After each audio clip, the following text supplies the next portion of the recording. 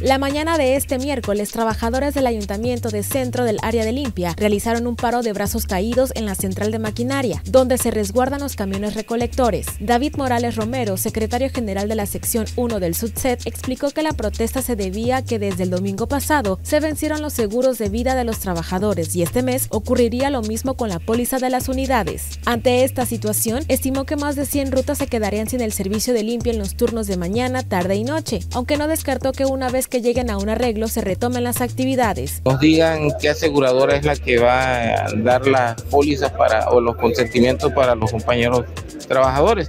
Estamos nada más a la espera de que nos hable la dirección de administración y nos diga que con qué aseguradora. ¿Cuánto vencieron las pólizas? Se venció el domingo. Ya tuvimos una plática ayer este, quedaron que hoy están trabajando a ver ya para que nos digan con qué aseguradora van a trabajar. Horas más tarde, mediante un comunicado, el Ayuntamiento de Centro informó que los trabajadores tienen garantizado el derecho de cobertura y el pago de seguro de vida, además que las unidades recolectoras cuentan con pólizas actualizadas. Asimismo, aseguraron que luego del paro momentáneo, el servicio de limpia se reactivó con el turno vespertino y este jueves se dará de manera normal.